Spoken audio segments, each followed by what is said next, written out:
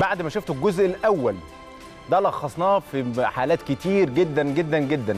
هنعرضها في يوم من الأيام كاملة بس هتاخد وقت طويل قوي قوي مع حضراتكم. كل الكلام ده ليه؟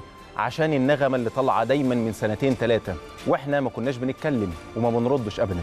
يقول لك الأهلي بيكسب بالحكام والزمالك طول عمره مظلوم من الحكام. الأهلي بيكسب بالحكام والزمالك طول عمره مظلوم من الحكام. يا رب سامحني يا رب والنبي يا رب على كده يا رب يا رب والنبي سامحني يا رب. مش هعمل كده تاني مش هعمل كده تاني. لا مش هقول كده؟ بعد اللي شفته ده يا رب مش هعمل كده. والنبي يا رب سامحني. بس ممكن أقول كده السنة الجاية؟ ممكن أقول كده السنة الجاية. هي دي النغمة اللي سايدة على طول. خلينا بالعين بالعين المجردة. وهقول كمان للمشجع مرة تانية.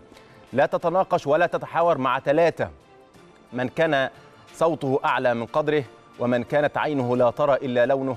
ومن كان عقله لا يدرك ما يقول. نرجع تاني لكابتن عصام عبد الفتاح. فين كابتن أحمد حمدي؟ هاجمنا الحكام وانتقدنا الحكام.